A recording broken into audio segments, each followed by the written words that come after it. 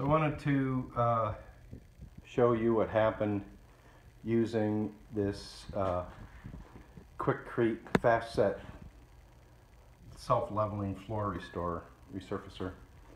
Um, the first, uh, I went to the store, I was calculating how much I need. Um, and a 50 pound bucket doesn't go very far. If you look down here, uh, this little area slopes from nothing down to about a half an inch. You can see, and I, I did hit my line down there. Not bad. That's one, one bucket right there. Actually, that's two buckets. One bucket went into the corner, and this dark line right here uh, was from the second bucket of me trying to feather them together.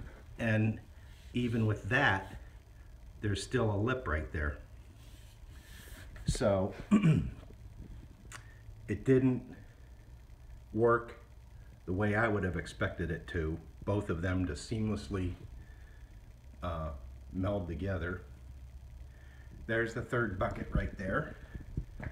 And um, it was a little thicker than the first two. So the reason I, I see the color change here is everywhere that I hit it with a trowel is where it's dark. I had to completely uh, trowel that one because it was a little thicker just to move it around. I mean, it was leveling, but I wanted to move it around and even still, I didn't get it nice and feathered out. And I still need to do more work right on, the, on this edge up here. So I'm not worried about this, this lip, I'm worried about these over here. And then what happened, um, there's a nice pour right there, right? You see that one all along back into the corner? That's a good one. Um, but then what happened, after I had four buckets and 37, 36 bucks a pop, I went back to the store to get some more. The store I usually shop at only had two. So I went to a different store 20 miles away. Got four more buckets. They didn't work. I'm taking this back.